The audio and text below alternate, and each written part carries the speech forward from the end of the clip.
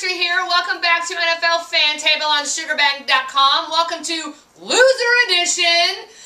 Oh, with me this week, my gay brother husband, Mr. Brian Davis. Who dat? and also of Cleveland Brown fan extraordinaire, Miss Laura Windell. Go Browns! She's more used to losing than I am. yes, definitely. That's another reason why we brought Laura on this week. Actually, we also were supposed to have Ethan this week as well because being a Cowboys fan, he's a total member of the Loser Club. But he's kind of not focusing on football right now because his St. Louis Cardinals are in the World Series and he'll be there tomorrow. So go Eats.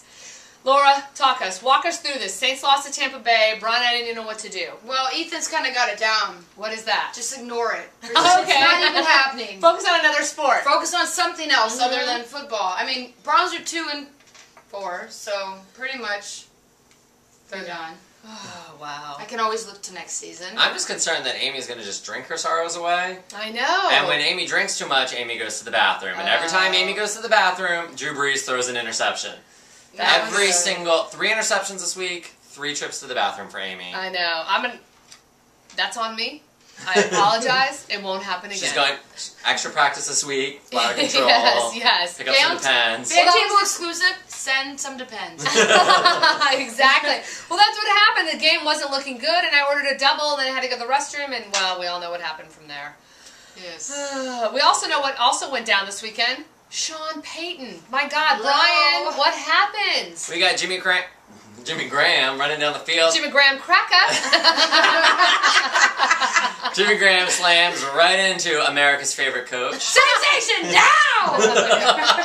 One time a cheerleader got knocked over, and these guys thought that was the funniest thing ever, and it kind of was. I was expecting to see Sean. He tried to coach from the sidelines for a little bit of the game. Ended up having to move to the locker room. I thought they could put him a little rascal. He could ride up and down.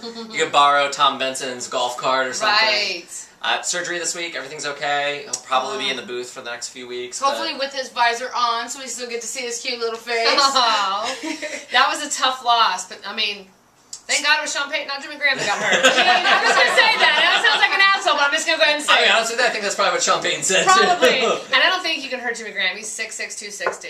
Bam. Okay. Speaking of injured Paytons, Oh, oh my Peyton Hillis, Oh who has another injury. What is it? Is it cold sore this time or strep throat? Mono? Blister?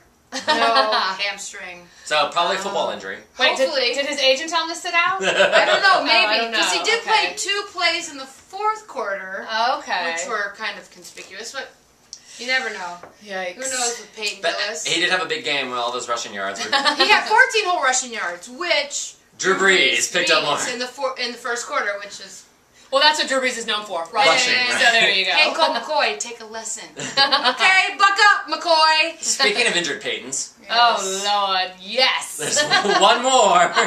Peyton Manning, who you know we never want to miss an opportunity to bring up Peyton Manning's name. You know, remember when the Saints beat him, Super Bowl Forty Four.